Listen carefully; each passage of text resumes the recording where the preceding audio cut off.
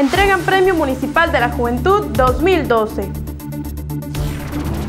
Aspirantes panistas afinan estrategia. López Caballero creará unidad deportiva especial. Proponen agencia especializada para ataques a periodistas. Viene la obra ¿Por qué los hombres aman a las cabronas?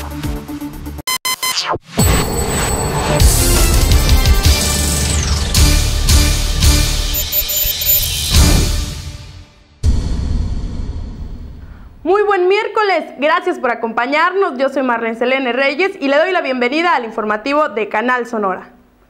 Esta mañana el Instituto Hermosillense de la Juventud y el alcalde de Hermosillo, Javier Gándara Magaña, entregaron el Premio Municipal de la Juventud 2012. En un evento de música, baile y talento, el Instituto Hermosillense de la Juventud, en presencia del alcalde Javier Gándara Magaña, galardonó a 10 jóvenes en el mismo número de categorías con el Premio Municipal de la Juventud 2012. Paulina Valenzuela Gutiérrez, directora del Instituto Hermosillense de la Juventud, externó que el premio es el mayor galardón que puede recibir un joven. Además, destacó que se siente muy contenta ya que el primer año de su gestión recibieron 60 expedientes y este año más de 300, por lo que aprovechó el momento para motivar a los jóvenes a seguir participando los próximos años. En el evento también estuvieron presentes la señora Marcela Fernández de Gándara, presidenta de DIF Hermosillo, y Julio Gutiérrez, director del Instituto Sonorense de la Juventud. Y para continuar con la información, se reunieron candidatos a diputaciones federales y locales del Partido Acción Nacional con Francisco Burques.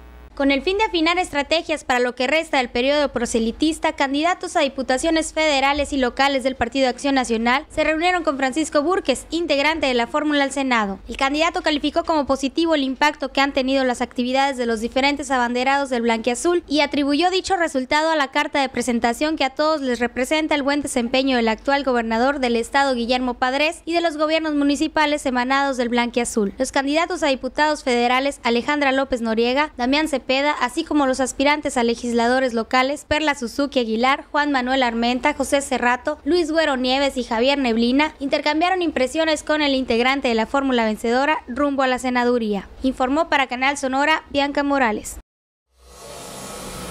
El candidato del PAN a la alcaldía de Hermosillo, Alejandro López Caballero, presentó su propuesta número 17. Con el fin de beneficiar a niños y jóvenes con capacidades especiales, el candidato del PAN a la alcaldía de Hermosillo, Alejandro López Caballero, presentó su propuesta número 17, la cual está enfocada a la construcción de una unidad deportiva para personas especiales. El candidato del Blanquiazul destacó que dicho espacio deportivo contará con instalaciones básicas y especializadas para ellos y estará a cargo de personal capacitado que detecte y desarrolle potencialidades en los niños y jóvenes especiales y los impulse a la práctica deportiva sistemática e incluso de competencia. Esta propuesta, la número 17 en su día 17 de campaña, forma parte del plan de gobierno 60-60 por el Hermosillo que viene, donde se concentran las primeras 60 acciones de la administración municipal que pretende encabezar el candidato del PAN. Informó para Canal Sonora Bianca Morales.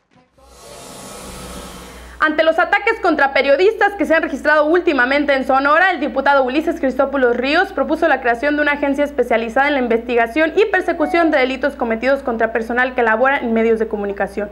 Durante la sesión del Pleno Legislativo, los diputados del PAN se opusieron a que la propuesta se votara de manera urgente, por lo que fue remitida a la Comisión de Justicia y Derechos Humanos.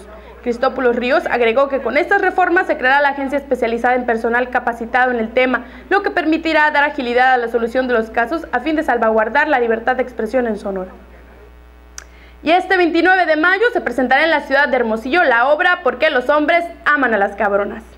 La exitosa puesta en escena ¿Por qué los hombres aman a las cabronas? llega a la ciudad de Hermosillo este martes 29 de mayo con dos presentaciones, a las 7 y a las 9 de la noche. Dicha obra de teatro está protagonizada por Roxana Castellanos, Alejandra Procuna y Jan Lu. Cabe resaltar que dicha obra está basada en el popular bestseller que lleva el mismo nombre y a un principio fue estelarizada por la actriz y comediante Consuelo Duval y Mercedes Molto. Los boletos ya están a la venta en el Auditorio Cívico del Estado. Informó para Canal Sonora César Treviño. Esta fue la información más relevante hasta el momento. Lo esperamos mañana con más noticias, claro, por canalsonora.com.